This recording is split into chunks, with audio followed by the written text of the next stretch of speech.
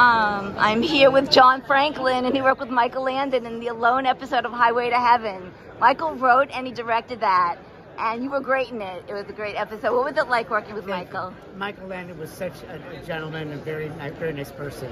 Uh, he's so sad that he you know, died so young, but he was a chain smoker too, and he used to joke that when he got home at night, his socks were yellow.